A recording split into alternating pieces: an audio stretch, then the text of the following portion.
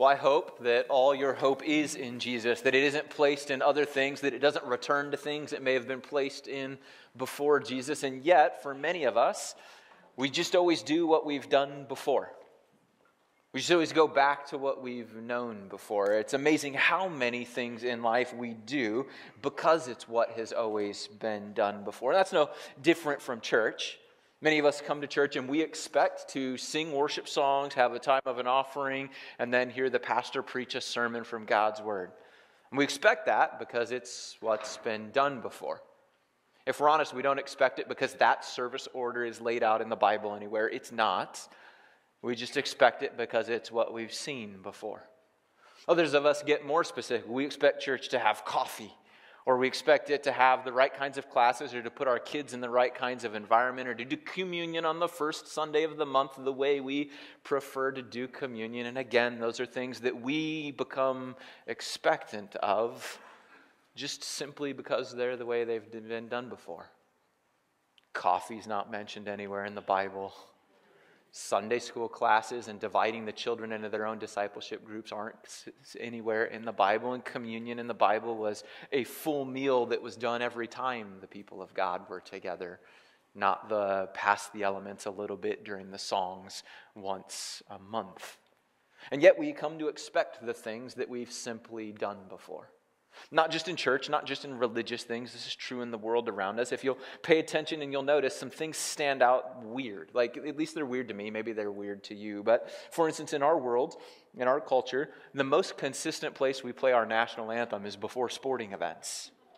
And I don't know why that's the case. I don't know how that got chosen, but I know that if it stopped happening, we'd be mad because we're not doing it the way we've done it before.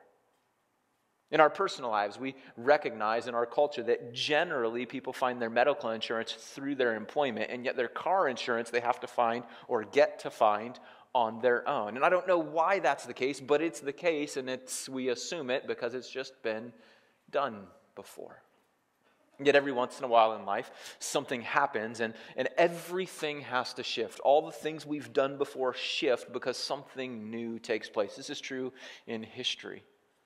We see it in transportation when the car suddenly is available to the masses of the community. In fact, when Henry Ford's been credited with saying, if I'd have simply asked people what they wanted, they would have told me they wanted faster horses. We, we expect what we've known before, and yet when the car is created, it doesn't just become a convenience, it changes everything. It changes the way we design neighborhoods, build roads, interact with the community around us, where, we, where and how far we can go to find the material goods of our life, what travel and business, shopping, exploring the world all look like.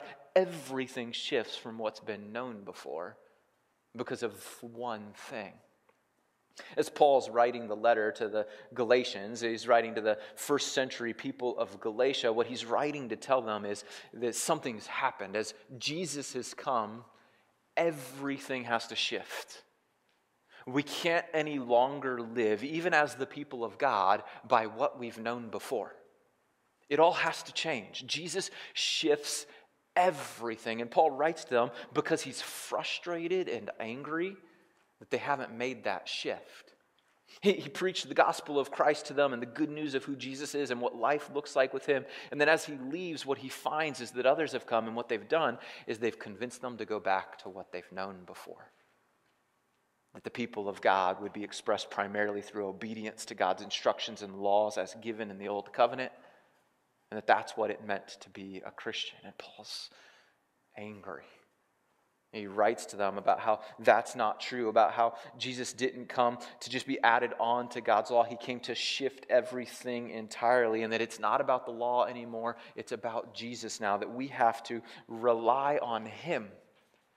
Not ourselves, not our own behavior, not our earning of righteousness through obedience. We have to rely on Christ and Christ alone. Last week we actually looked at how Paul then says we don't just, uh, we don't just obey the law, or we have obedience, but it's obedience to death.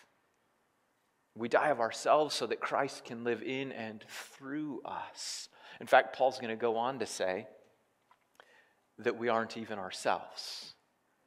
that the things we choose aren't how we should be defined or how we should be labeled if we've become Christians. Just before those verses in Galatians 3, chapter 3, verse 23, he says it this way Before the coming of this faith, that's faith in Christ, we were held in custody under the law. Some translations would say we're slaves to the law, locked up until the faith that was to come would be revealed. The law was our guardian until Christ came that we might be justified by faith. And now that this faith has come, now that Christ is here, we are no longer under a guardian. Or he'll say in later verses, we are no longer slaves to the law. Everything that was true before shifts now, it changes. We don't do it that way anymore. We do faith in Christ differently than we ever did obedience to the law. And faith in Christ is what matters, not obedience to the law. He continues So in Christ Jesus, you are all children of God through faith. For all of you who were baptized in Christ have clothed yourselves with Christ. You are new now. You're with Christ. You're not with yourself. You're not with your own righteousness. You're not trying to earn it. You're with Christ. And then he says these words There is neither Jew nor Gentile, neither slave nor free, nor is there male and female for you are all one in Christ Jesus. Here's what Paul's saying to the church in the first century. Even those choices that are true, even those parts of life that can define you in our worlds, aren't what matter when you come to church. When we show up here, we aren't supposed to divide ourselves by the different choices we make or the different statures of life we have or the different backgrounds we come from. We're supposed to be one in Christ. That's what Paul says. When we come together, we are one in Christ. The other things are still literally true. There were literally men and women there. There were literally Jews by background and Gentiles by background there. There were literally slaves owned by masters and actual masters, free people there. And yet, Paul says, when you get together, don't let that be how you're defined. You're not defined by those choices or those backgrounds or those experiences. You're defined as one in Christ. And God would hope, Paul would say to us today that the same should be true. We can't define ourselves or divide ourselves by the other good and literally true things about our lives. We have to come together as one in Christ. Some examples. I talked about cars already. So when we come together, we can't divide ourselves into the groups of the Ford loving Christians, the Chevy loving Christians, the non American vehicle driving Christians. We can't divide ourselves and label ourselves as the Democrat who showed up or the Republican who showed up. We are all simply God's children together as one in Christ. We are not here as people who love contemporary worship or people who love traditional worship. We are people who come here to worship Christ as one. We are not homeschool families, charter school families, private school families, public school families, teachers, students, adults, kids, members, or non members. When we get here, we're supposed to be one in Christ. The other things can literally be true. God actually values us as taking time and intention towards choosing those kinds of things in our life. I'm not downgrading that, but when we come together, they're not to be the things we use to judge or define our relationships. Those should always be based on the fact that we are one in Christ. And so instead of judging people or defining them based on those things, we need to lovingly allow them to choose different than us as long as what they're choosing isn't clearly sin. Let me say that a different way. When you acknowledge choices that are important to you, you need to be able to also acknowledge that that doesn't mean they're necessary for everybody else. Just because you choose to live out your life a certain way does not mean everybody else has to, and you should not be judging them or defining them based on those choices. We should allow them to make those choices freely themselves as long as they're not choosing clear and blatant sin. And if you're caught up in defining and judging other people by those choices, these will be Paul's words, we'll read them later. Then you have alienated yourself from Christ and you are throwing away grace. Paul's blunt reminder would be then you're living by law and you're relying on yourself and not Jesus. In Galatians chapter 4, Paul begins by saying that we were no different than slaves before Jesus came. That we were subject to guardians and trustees until the time set by the follower or by the Father. That when we were underage, that he means that as in before we accepted Jesus, we were in slavery under the elemental spiritual forces of the worlds. But, verse 4 says, but when the set time had fully come, God sent his Son, born of a woman, born under the law, to redeem those under the law that we might receive adoption to sonship. Christ came to redeem us, not simply from our poor behaviors and sins, though he does that, but he came to redeem us from the law altogether. The entire expectation changes because of Christ a shift happens and we don't simply do what the people of God have done before. Something is new when Jesus comes. He goes on to say in verse 7 So you are no longer a slave, but God's child. And since you are his child, God has made you also an heir. You are no longer a slave. He's talking particularly about being a slave to the law, the Old Testament covenant of God. You are no longer a slave, God says, but an heir. That's why Christ came. Formerly, verse 8 says, When you did not know God, you were slaves to those who by nature are not God's. But now that you know God, or rather are known by God, how is it that you're turning back to those weak and miserable forces? Do you wish to be enslaved by them all over again? You're observing special days and months and seasons and years. I fear for you that somehow I have wasted my efforts on you. Paul says to the people, I clearly came and told you about freedom you got from Christ, and you fell in love with Jesus and what he provides for you. And then shortly after I've left, you decided to just fall back into the ways of old. You've chosen slavery and bondage to the law again. You've chosen trying to live out your justification in your own means again. Why would you do that? I fear I've wasted the good news of Jesus on you because you think it's your righteousness and your obedience that matters most, and it's not. It's Jesus' righteousness that matters most, and the grace that he extends to us, that's what matters most. Why would we choose to go back? He questions. Why would we wish to be enslaved all over again? Why would you think it's about observing the right days or the right seasons, the right rituals, the right holidays, giving the right amounts of money, showing up in the right kinds of places, saying the right kinds of things? If that's what you think it's about, the gospel has been wasted on you. You can read the rest of chapter 4 as he continues to make that argument to the first century Galatians there, but it's chapter 5 where he finally gets to the point, what he wants to be true, what he wants to make as clear as he possibly can to the first century Jewish Christians and to us today as we acknowledge Christ. Galatians chapter 5, verse 1. It is for freedom that Christ has set us free.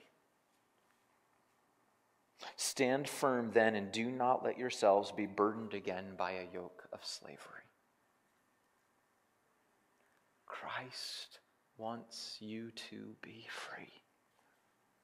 He wants you to be able to stand firm in that freedom, and He wants you to be able to stand against the burdens of laws, the burdens of instructions and regulations, the burdens of expectations, the burdens of slavery.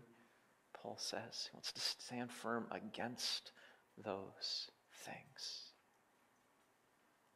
That's hard. That's hard.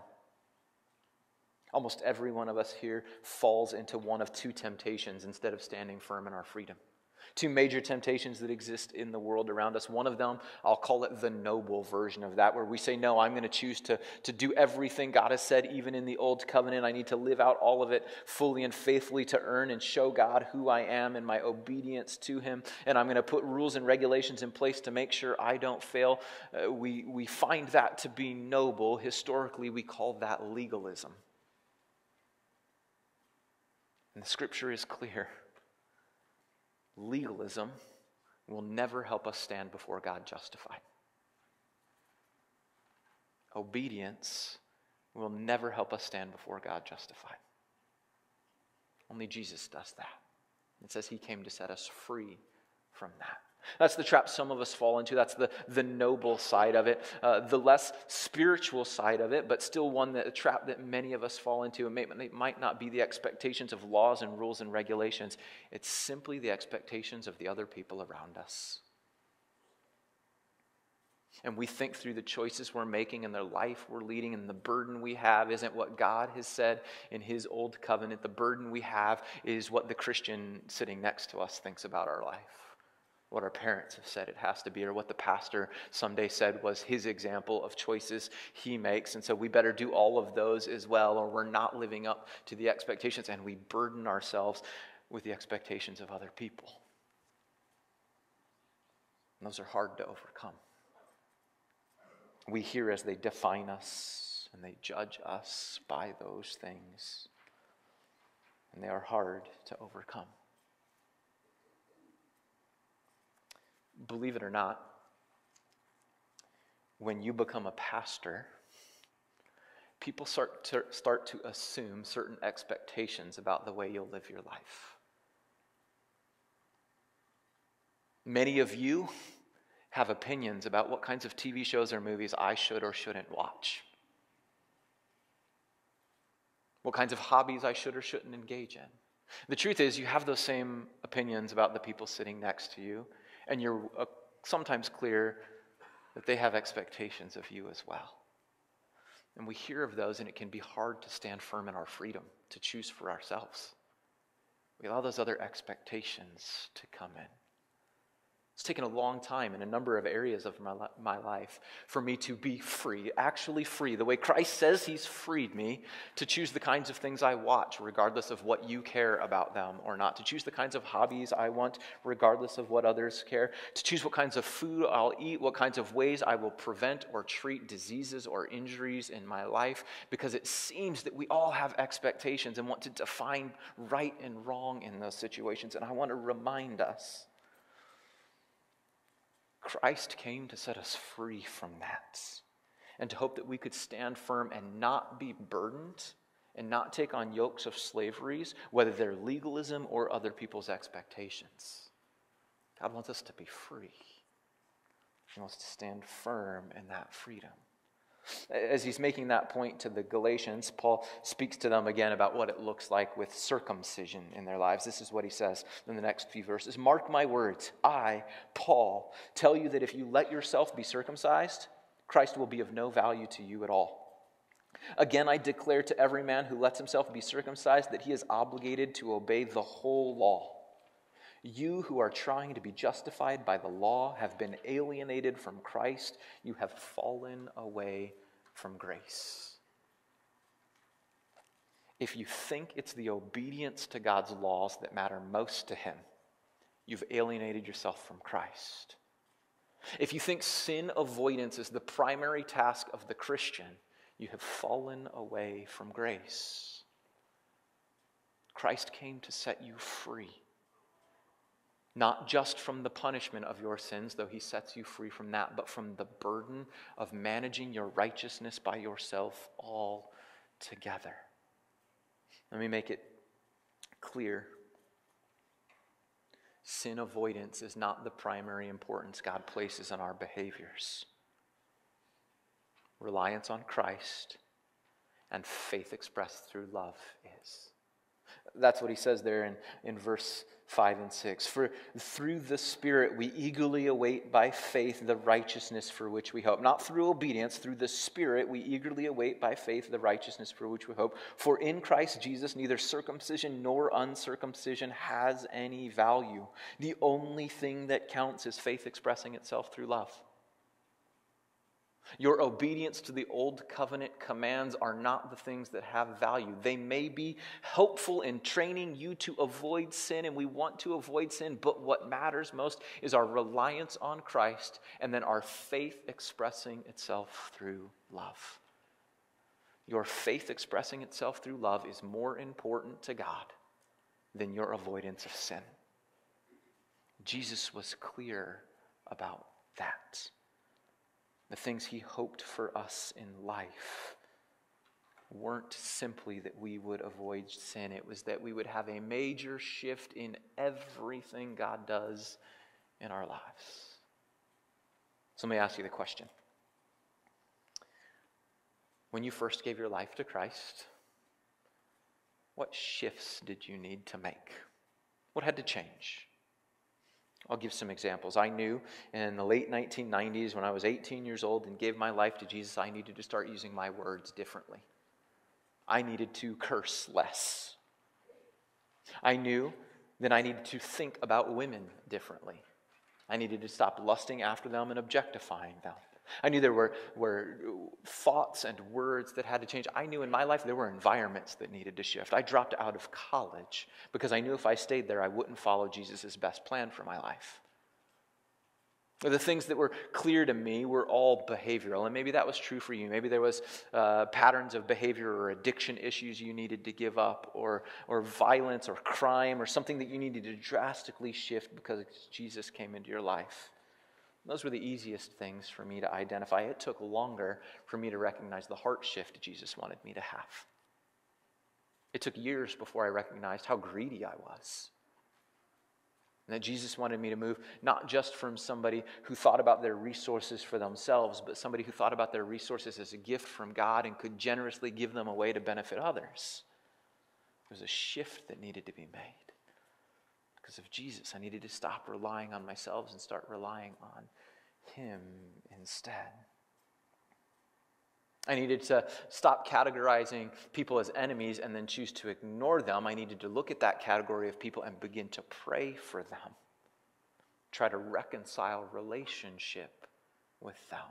These are the kinds of things Jesus says shifts, and it's those expressions of faith through love, through giving, through generosity, through reconciliation. Those things that Jesus continues to teach are more important than simple obedience to law and sin avoidance. The only thing that counts, Paul writes, is faith expressing itself through love.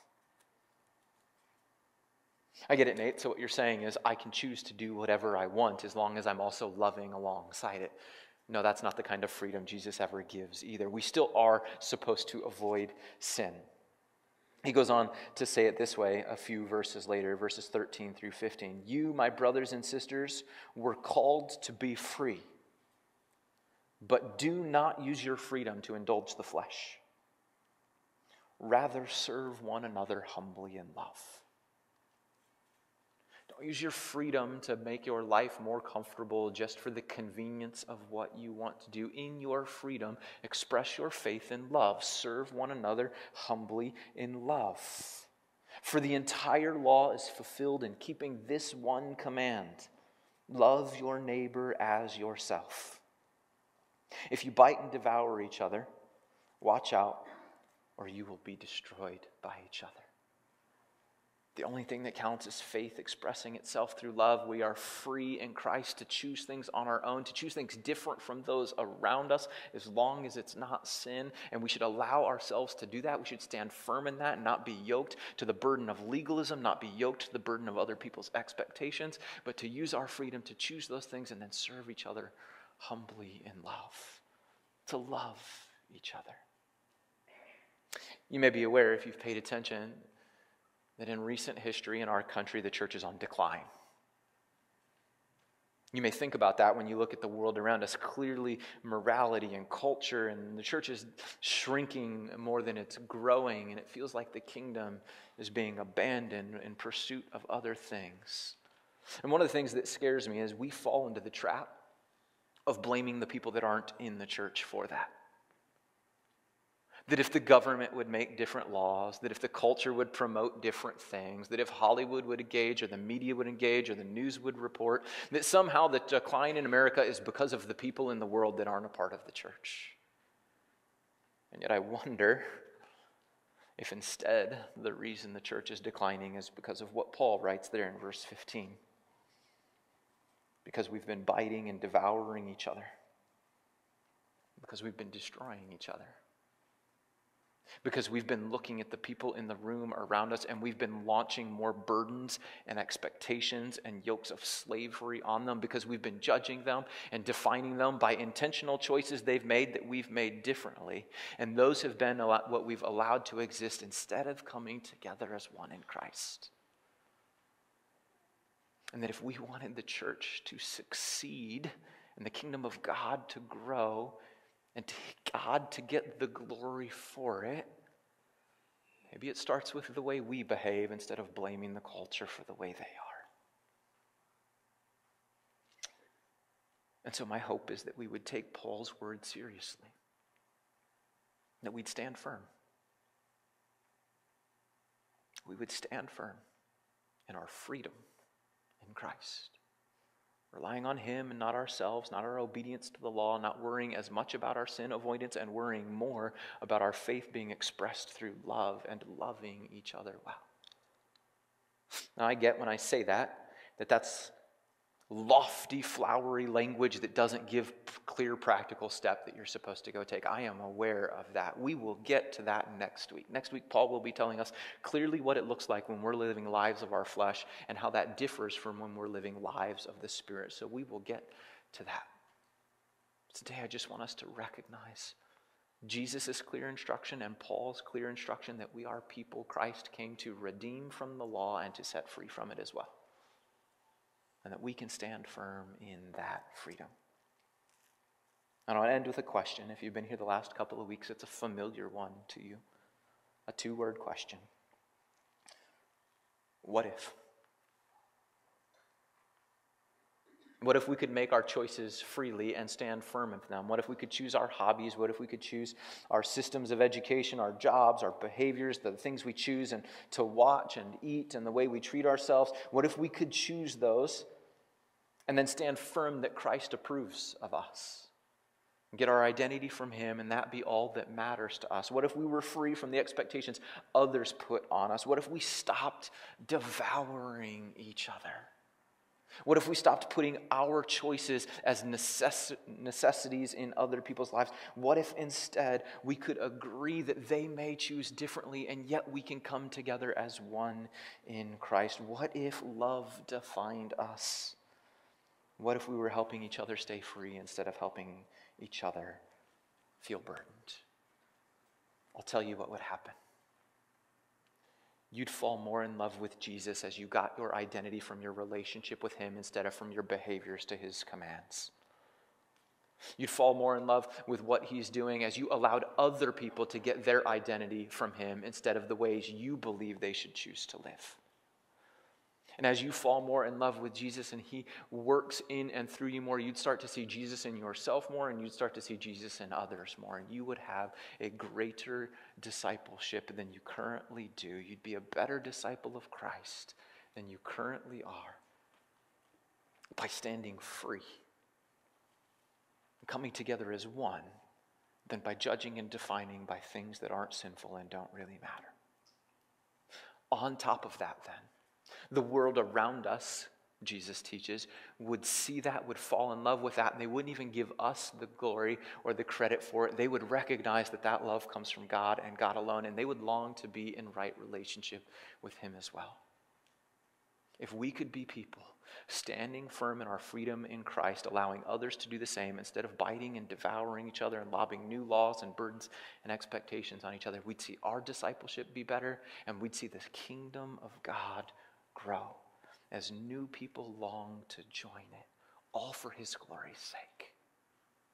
It all goes better if we'll just simply live out the shift Jesus asks us to make. Stop reverting back to the old ways where it's about slavery and bondage and burdens of the law. My hope is that would be true, and I want to pray thanking God for that freedom and that it would be true. And then I want to give you one clear step you can take before you leave this morning to put it into practice. Would you join me in that prayer? God, I'm thankful for freedom that comes to us from Christ. I recognize in my world, freedom always comes at the cost of another. The freedom I have in this country at the cost of another. The freedom I have with you spiritually at the cost of another. And I am thankful for that freedom.